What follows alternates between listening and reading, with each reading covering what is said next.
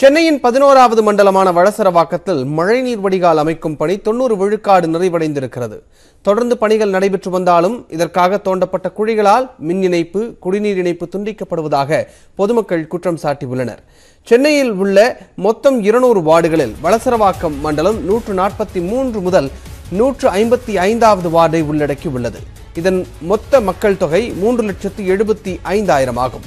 இங்கு நூற்று முப்பத்து நான்கு கிலோமீட்டர் நீளத்திற்கு மழைநீர் வடிகால் கட்டமைப்புகள் உள்ளன. இரண்டாயிரத்து பதினைந்தாம் ஆண்டு பெருவெள்ளத்தின் போது வடசரவாக்கம் மண்டலத்தில் எண்பத்து நான்கு இடங்களில் தண்ணீர் தேங்கியது.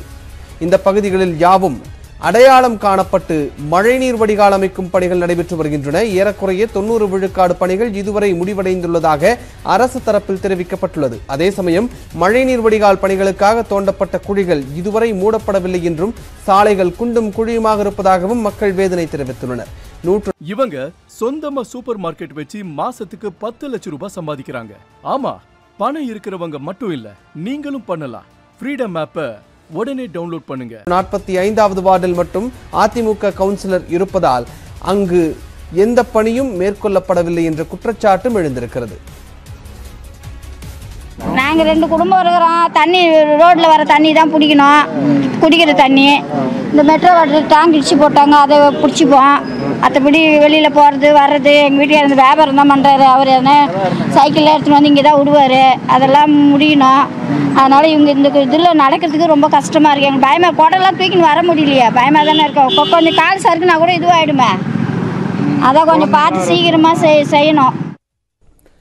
வளசரவாக்கம் வாவூசி சாலையில் மழைநீர் வடிகால் பணியின் பொழுது ஏற்பட்ட அதிகப்படியான மின் பாய்ச்சலால் வீடுகளில் இருந்த மின்னணு சாதனங்கள் தீக்கிரையாகின.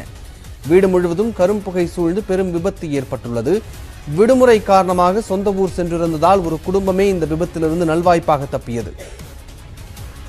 எல்லாமே அத்தியாவசிய பொருள் முக்கால்வாசி போயிடுச்சுங்க. மளிகை சாமான் போயிடுச்சு எல்லாமே போயிடுச்சு. பசங்க வந்து வந்தால் உட்கார தங்குறதுக்கு சுத்தமாக இடம் கிடையாது. குழந்தைங்கள ஊரில் விட்டுட்டு வந்திருக்கேன் நான்.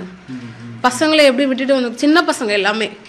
ரொம்ப கஷ்டமாக இருக்குது ஒருத்தரும் வந்து எதுவும் இது பண்ண மாட்டேங்க என்னன்னு பார்க்கவும் இல்லை. மேல் வீட்டிலேருந்து சின்ன ஒரு ஓட்ட வழி வெளியே கீழே புகை வந்துச்சு. என்ன புகை வருதுன்னு சொல்லி நாங்கள் மேலே வந்து பார்க்குறப்ப அவங்க ஊரில் இல்லை கதவு பூட்டி இருந்துச்சு.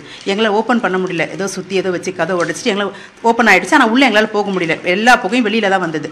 அப்புறம் நாங்கள் எதாச்சியாக நாங்கள் என்ன பண்ணோம்? தண்ணி அப்போ ரெண்டு நாள் கரண்ட்டும் கிடையாது. தண்ணி கிடையாது. குடிக்கிற தண்ணி எடுத்து நாங்கள் ஊற்றி விட்டுட்டோம். எந்த இடம் தெரியாமல் உள்ளே ஃபுல்லாக ஊற்றி தீ அணைச்சிட்டு அதுக்கப்புறம் தான் நாங்கள் வெளியில் வந்தோம். வந்துட்டு அப்போ பார்த்தா வீடு ஃபுல்லாக ஒரு பொருள் கூட இங்கேருந்து எடுக்க முடியாது. எல்லா பொருளுமே வீணாக போயிடுச்சு. அந்த வெளியில் வந்து கேட்ட கேள்விக்கு பதில் சரியாக சொல்ல மாட்டேங்கிறாங்க. இவங்க அவங்கள கை கட்டுறாங்க அவங்க அவங்கள கை கட்டுறாங்க மாற்றி மாற்றி கை கட்டிட்டு இருக்கிறாங்க.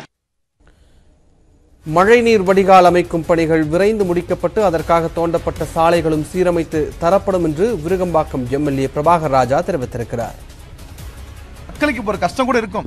எல்லா இடங்களையும் தோண்டி போட்டிருக்கு. சுற்றி டிராஃபிக் இருக்குது போக முடியல ஒரு வருத்தம் இருக்கும். இதில் என்ன ஒரு நம்மளுக்கு ப்ராக்டிக்கல் டிஃபிகல்ட்டிஸ் என்னென்னா மழைநீர் வடிகால் செயின் லிங்க் இந்த ரோடை வெட்டினா தான் பக்கத்து ரோட்டில் தண்ணி போகும். ஸோ அந்த ஒர்க் நம்ம ஒவ்வொரு கான்ட்ராக்டர்ஸ் கொடுத்துருப்போம்.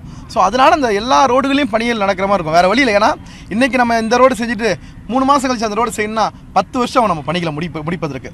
ஆகவே விரைந்து முடிக்க வேண்டும் என்ற எண்ணத்தில் தான் இந்த மக்களுக்கு இந்த கஷ்டமும் நாம் பட்டிருக்கிறோம். ஆக இந்த கஷ்டத்துக்கெல்லாம் மக்கள் விரைவில் ஒரு விமோச்சனம் அடையக்கூடிய நிலைமையும் இருக்கும்.